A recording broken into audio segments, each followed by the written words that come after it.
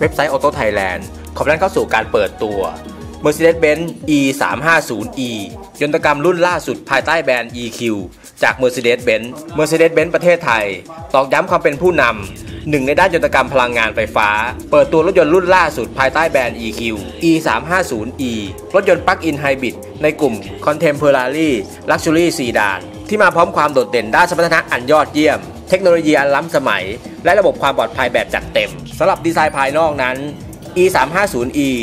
มีรูปลักษณ์ที่โดดเด่นเป็นสง่า ตามแบบฉบับรถยนต์ตระกูล E-Class โดยในรุ่นอวังการนั้น มาพร้อมไฟหน้าแบบ LED High Performance ส่วนในรุ่น Exclusive และ AMG Dynamic มาพร้อมไฟหน้าแบบมัลติบีม LED และระบบส่องสว่างอัจฉริยะ ระบบปรับโคมไฟหน้าเลี้ยวตามพวงมาลัย ระบบส่องสว่างขณะเลี้ยวเข้าโค้ง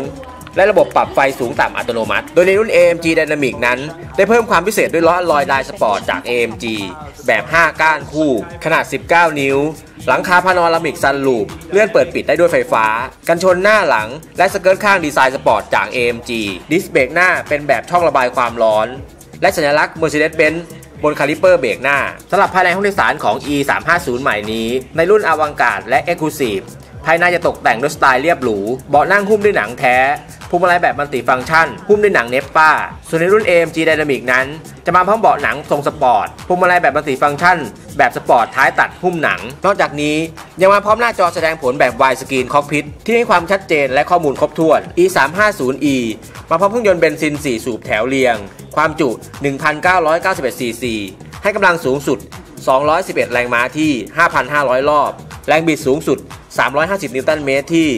1,200 ถึง 4,000 รอบ และพละกำลังจากมอเตอร์ไฟฟ้าที่ 88 แรงม้า แรงบิดสูงสุดของมอเตอร์ไฟฟ้าที่ 440 นิวตันเมตร โดยอัตราเร่ง 0 ถึง 100 ที่เคลมจากโรงงานนั้นทำได้ 6.2 วินาที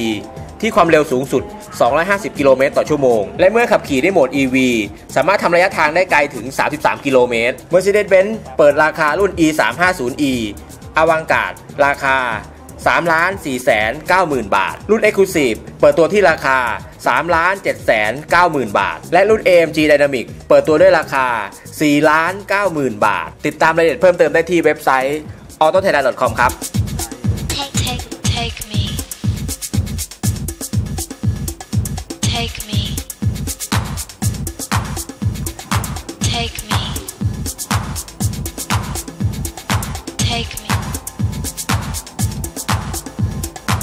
take me.